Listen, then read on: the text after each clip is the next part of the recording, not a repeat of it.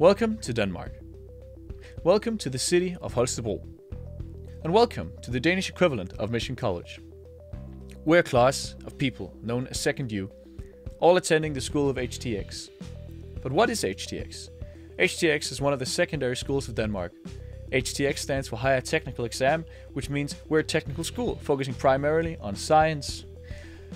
The Danish school system is divided into four parts the primary, boarding and continuation, secondary school, which is the equivalent to high school, and university, each with different courses and directions.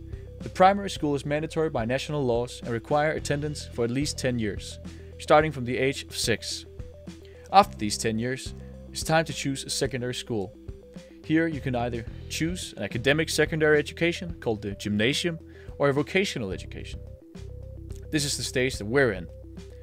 We're in the second year of our academic secondary education, which, as mentioned, is called HTX.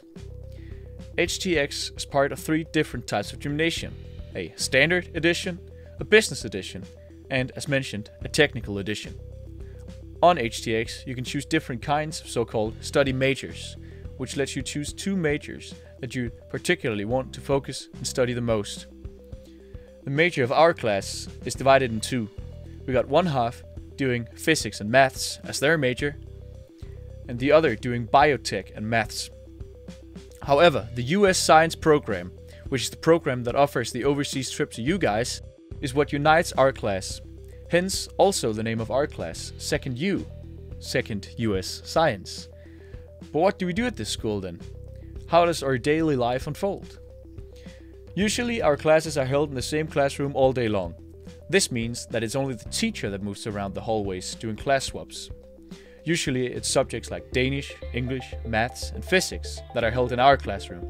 Obviously, in chemistry, we need to be able to perform pracs such as these, and therefore we had our chemistry classes held in the lab.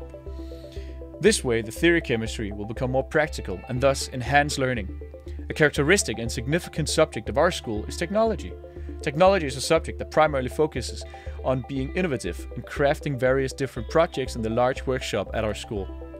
Another significant aspect of our school is that we spend large amounts of time working on projects together in groups.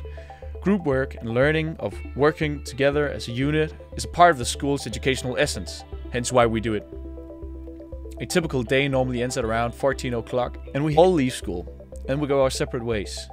Some may have some leisure work to attend to. In fact, almost 35% of teens from the age of 13 to 17 have work in their free time. Even though we here in Denmark are privileged receivers of student grants, which is a governmentally supported financial support for all students from the age of 18, varying from 100 US dollars to 900 US dollars a month, depending on whether you live at home or not, and also if your parents' financial situation is good or bad. A little extra money from leisure job is always nice to have.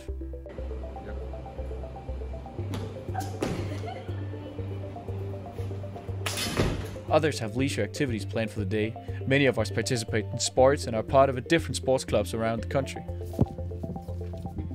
This could be football or soccer, as you call it, handball, swimming, gymnastics, volleyball, and so on. Bike riding, riding, horseback riding. Sometimes people also go to the city central and do some shopping or whatnot. Cities in Denmark usually have what is called a pedestrian street, a street where motorized vehicles and even bikes are not allowed. It's usually just a long street with various types of stores and cafes on either side. Holstebro's pedestrian street has actually been declared Denmark's most cozy pedestrian street for several years now. Now come along for a quick ride in Holstebro.